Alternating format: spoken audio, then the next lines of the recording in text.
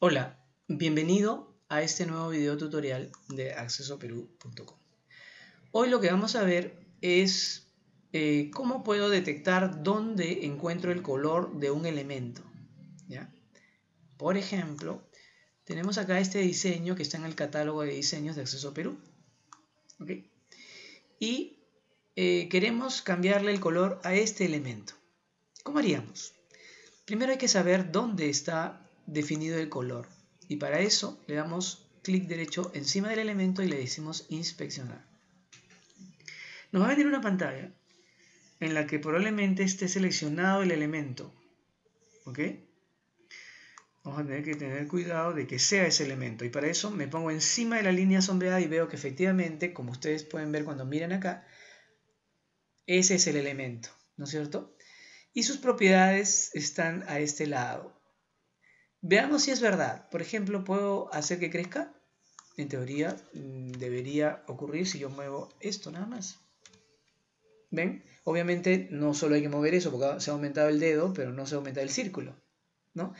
Pero hoy no estamos viendo eso, sino cómo detecto el color que eso tiene. Y dado que es un elemento que está en la hoja de estilo, yo puedo encontrarlo buscando a simple vista. Por ejemplo aquí, me parece que es este. Pero para probarlo, yo doy clic acá y le digo que ahora quiero que sea verdecito. Elijo un verde y como verán no está cambiando, así que no es ese. No, cambió. ¿Sí cambió? Rojo, a ver. Ah, sí, pero estamos señalando el elemento adentro. Tengo acá a mi estudiante que está que me sopla, que dice que sí cambió. Muy bien, el elemento que está adentro, ¿no es cierto? Ya lo convertimos en un rojo, ¿no es cierto? Ahora, si yo quiero cambiar esto en WordPress, simplemente o entro a la hoja estilo y busco este elemento, ¿ya? Vamos a verlo. Este punto, ya saben ustedes que punto es una clase y este es el nombre de la clase. Y aquí está el color, pero aquí dice borde color, o sea, quizás sea también la partecita de allí. Vamos a ver. Eh, sí, aquí hay un borde color. Vamos a ver si lo podemos cambiar también. ¿Sí? Vamos a ver, le ponemos a ese morado.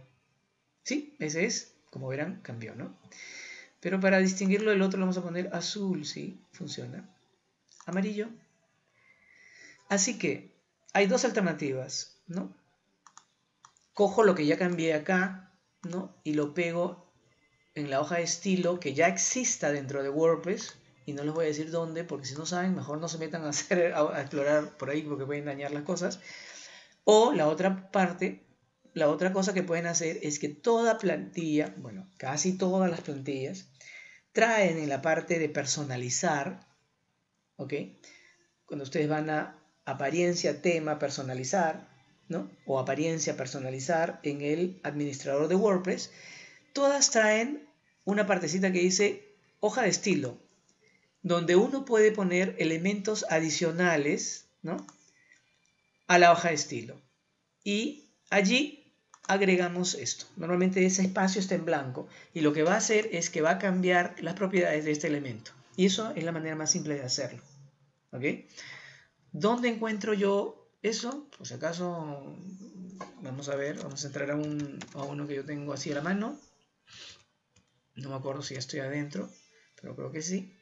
¿Dónde encuentro eso? Como les he explicado, hay una cosa que se llama apariencia, personalizar o este botón que dice personalizar, ¿no?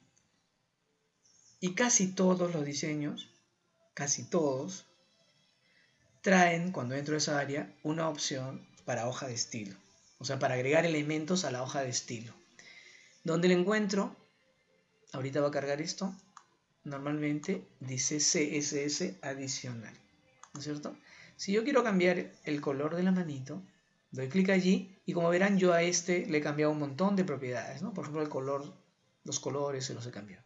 Simplemente a esta hoja, que ya pueden tener o que puede estar en blanco, ustedes le agregan ese elemento que acabamos de modificar.